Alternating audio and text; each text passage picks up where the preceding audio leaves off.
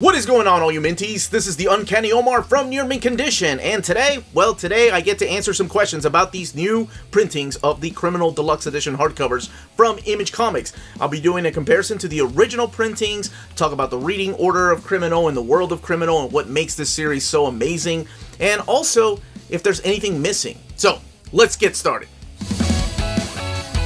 And welcome back, everybody. Now, before getting started, a huge thank you to Dying Breed Collectors for sending us copies of Criminal, the new editions, volumes 1 and 2.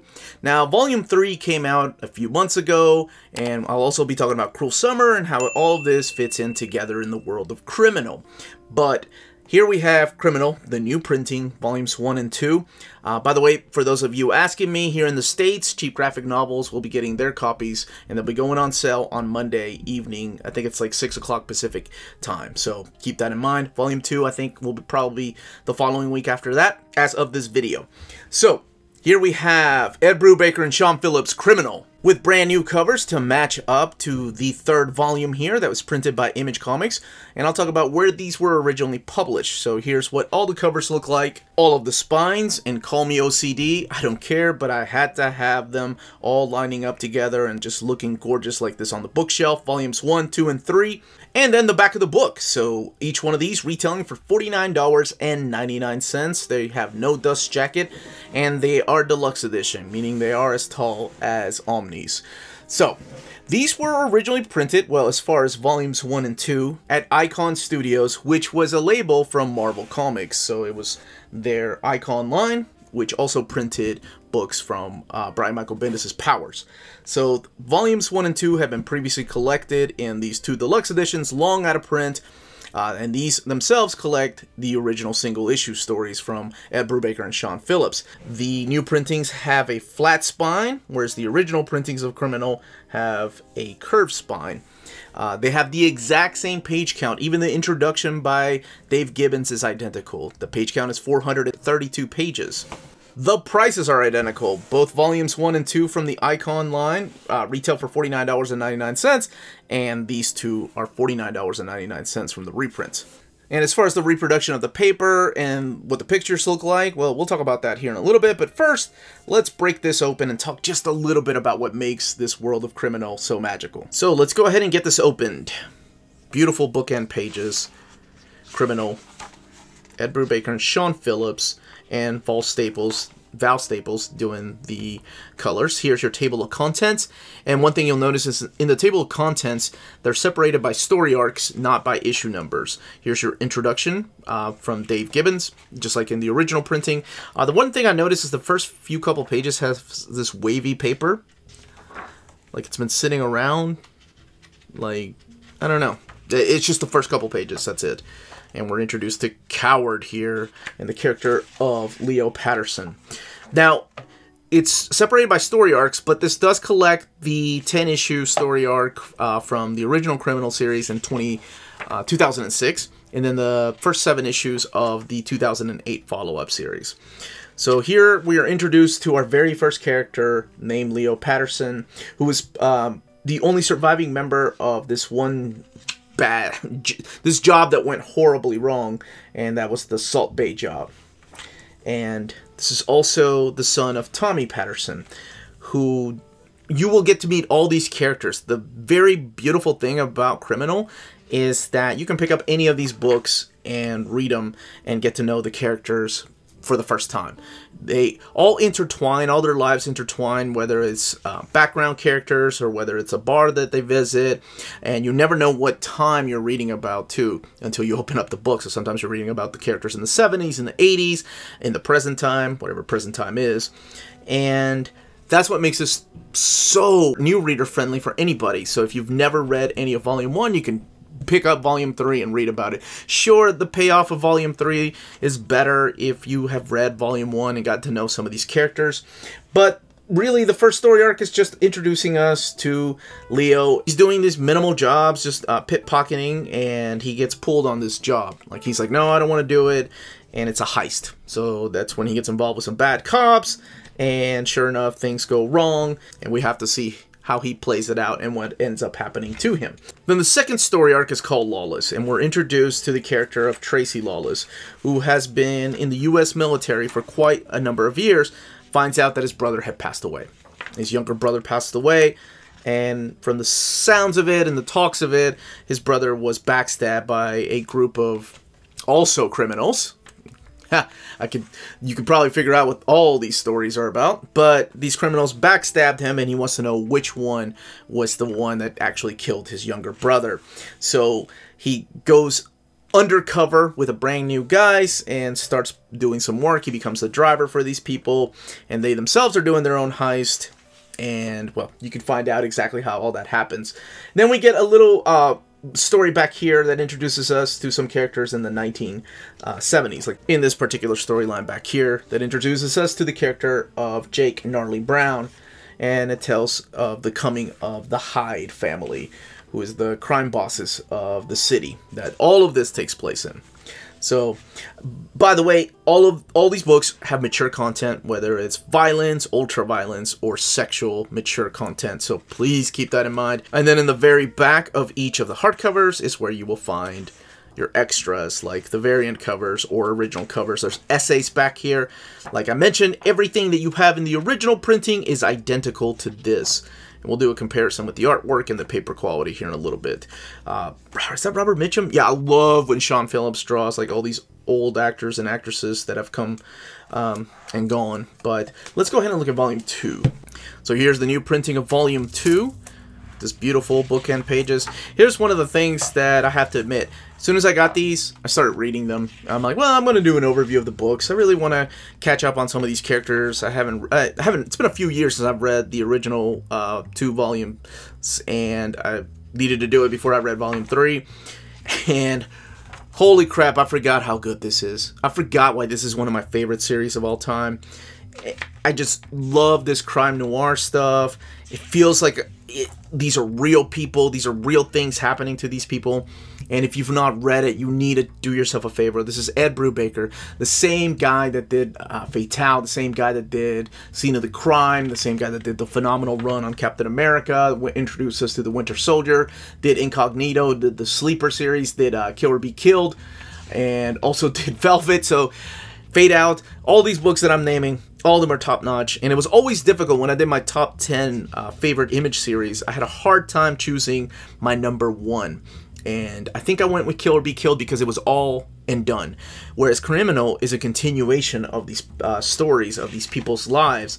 And in this particular volume, you get Criminal, the 2008 series 4 through 7, uh, and then you get The Sinners 1 through 5, and Criminal, The Last of the Innocent 1 through 4. So they start becoming little mini series instead of ongoing series. And we're introduced to some new characters. We see old characters come back from the original Volume 1 and you get more about the Hyde family, but really you get more of the Lawless family. Like I mentioned earlier, Tracy had to skip some pages because of that mature content I talked about earlier. Now, this one here, this volume right here, is it identical to the first printing. It has 432 pages as well. All the extras are in the back. Love all these extras that they put back here. It's awesome and I'm glad that we get every single page that was originally collected so nobody's missing out on anything. This is where some of these... Hey, is that McQueen? Yeah, yeah. Bullitt, of course. So a lot of these uh, act are actors. Charles Bronson, the man right there. Femme Fatale. And then the Encyclopedia Brown and, and the Great Brain. Spock. Yeah, so you even get these kind of uh, Magnum PI, uh, Sean Phillips artworks. Some of them are character studies, and then some of them are just extra stories or like little trailers leading up to this series. Now, what's really interesting about this series, about Criminal, is that it kind of stopped. It stopped for a long time. And then, out of nowhere, we got this original graphic novel. And I did an explanation about the terminology that I use on the channel sometimes, and I talked about the difference between an OGN and a GN. So this was released originally as an original graphic novel. It did not come out in single issues. As a matter of fact, I think this is the way it came out in a nice standard edition hardback. We got this. What we didn't know at the time was that this was in the criminal world. Nowhere here does it say that this is set in the world of criminal in the same city? You'll see some of the characters that was so unique that they did that. I, I, was like, what? It's important? I have to get it. Well, first of all, it's Ed Brubaker and Sean Phillips. I just didn't get it because I was like, well, surely they'll come out with an oversized hardcover edition. I'll get to that in here in a second. Now, if you're keeping tabs of the reading order of Criminal and Deluxe Edition, this is obviously the next step you need to go. It's Volume 3. Now, these stories have been released in trade paperback format, in these OGN formats, but I like to collect them in Deluxe Edition. Now, this does contain My Heroes Have Always Been Junkies, OGN. So it contains the Criminal Special Edition one-shots, 1 and 2, which kind of kick-started Ed Brubaker and Sean Phillips' love of um, coming back to the world of Criminal. I love this shout out to Savage Sword of Conan. Very cool that they did here, Savage Sword of Criminal. Uh, there's some um, lady parts there that I can't show. But this also collects My Heroes Have Always Been Junkies, Bad Weekend, and Criminal, the 2019 series, issues 1 and 4. So where are 2 and 3? Well, that's the interesting thing, is that Bad Weekend came out in an expanded OGN, so it had issues 2 and 3 in that collection. So they're not collected in any of the deluxe editions. Now, if you want to continue reading the story of Criminal and some of his families and some of the people that appear here, there is another book that you have to get that is also not named Criminal. By the way, this book here has 400 pages. If you want to look at the, let's look at the extras here. Yeah, here we go. Some of the variants and some of the covers. I love that they keep the covers back here. Character studies, and things like that. It's awesome to return back to the world of Criminal and to check up on some of these characters that are either serving time now uh, because they refuse to snitch or just going back in time in the 70s. So this is really cool. All the extras back here. And what I was talking about is there is a volume 3.5 that again nowhere do you see here that it's part of the criminal world. Nowhere do you see the logo of criminal on this book. But this is seriously considered a volume 3.5 because this contains the 2019 series issues 1 which is of course double dipping uh, with criminal volume 3 but issues 5 through 12 now we don't know yet if they're going to do a criminal volume 4 if we're going to be double dipping, if they do a Criminal Volume 4, all I know is that this came out in Deluxe Edition and collected those issues of Criminal, so I had to get it, because I wanted to continue reading the story. Again, volumes or issues 2 and 3 from the 2019 series have not been collected in Deluxe Edition and only available in the Bad Weekend uh, hardcover.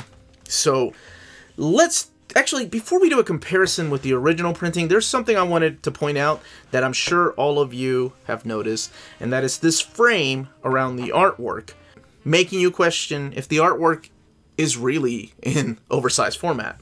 So for something like My Heroes Have Always Been Junkies, you can tell that it is a little bit bigger in the oversized format. The bleed goes all the way to the end of the page. But when you're looking at this type of artwork here, this is really not oversized. This is honestly, sorry, my wife has been reading Spider-Man like crazy lately, but it is the size of your standard edition comic book or trade paperback as far as the artwork. So there's this white border frame, and we've seen books do that before. We've seen like uh, Peter David's Hulk omnibus, so it, it's not uncommon for collections to do that. But I know sometimes people feel cheated. I myself don't care because this is a nice presentation of having the complete story all in one collection. But that's honestly the way the pages were laid out in the original printing. So speaking of original printing and pages, let's compare the paper quality between the two, which is almost identical. And I feel like the paper quality in the Marvel version is a little bit smoother and they're both about the same thickness, if I'm not mistaken. And honestly, now that I'm, yeah, I think actually the image uh, newer printings have thicker paper than these original printings, and could be my mind playing tricks on me, but and I mean slightly thicker, not not very, not by very much, but the paper in the Marvel printing seems a little bit smoother, at least in my copies. As far as the binding of the book, it is sewn binding, but it does have a lot of glue down there. It's not that big of a deal because with books like this, there are no spreads. It's mainly panels like this. Um, now, I, I, read the first volume and I'm, and you know, it it laid really nice, so wasn't that big of a deal. And like I said, you have these white borders because of this frame that I was talking about earlier that's separating the pages, so you're not going to get any gutter loss. The only time you may notice is when you're looking in the back of these extras back here. And even then, there's not that many spread pages back here. Alright, so let's go ahead and do a comparison of the pages of both Criminal uh, Volume 1. As you can tell, the colors in the new printing are more vibrant, they stand out a lot more. It still looks like a retro painting, but this one here seems faded out. And I've, you know me, I don't take my books out in the sun to read. Little different in the font that they use for the table of contents. Here's the cover to the very first book, and the Marvel version seems to lay over nicer because well, it's older. The binding is honestly a little bit better. This one has a little tighter binding because of all that glue down there. So, hey, I could have used this as an example of spreads.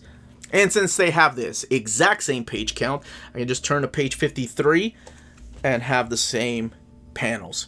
So in this particular example, it looks like the Marvel version. The colors are a little more poppy, if you will. Like the yellow is a little more vibrant than here. Here it seems to be the colors are a little bit duller. And same thing in these two pages right here. It seems like the Marvel, or rather Icon version, seems to have the colors are a little more brighter and the contrast is a little bit better here than the colors here in the newer version.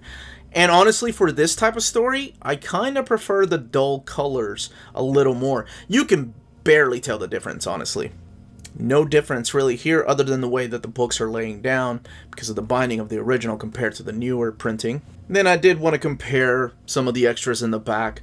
So this is Touch of Evil. It looks like they're using a different font for the newer printing and again, this one doesn't want to lay down. Honestly, these two look identical. Could have come from the same printing and I always like this Robert Mitchum picture right here. So think that's Robert Mitchum, or at least that's who it looks like to me. Uh, but that, as they say, is that.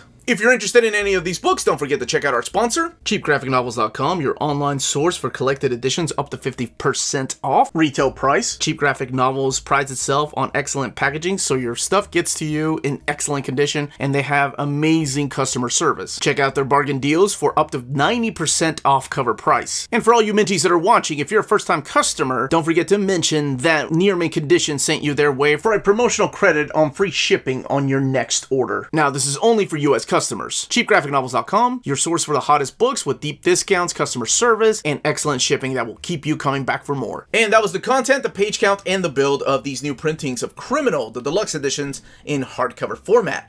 So, let me know in the comments down below if you've read it, if you're upgrading from the original Criminal that you had when it was printed at Icon, or Marvel rather, or if you're going to keep those, maybe do your own custom dust jackets, or if you're OCD and you have to have Criminal in this format. Again, this was the Uncanny Omar. Please don't forget to hit that like button, subscribe if you haven't subscribed yet, ring that bell for notifications to let you know when our videos are going live. And if you have any more questions about these or the reading order, please let me know in the comments down below. We can be found on Spreadshop, where you can get stickers much like this one here, and on Patreon. Amazing ways to support the channel if you can do so. More importantly, everyone, stay healthy, stay safe, and much love.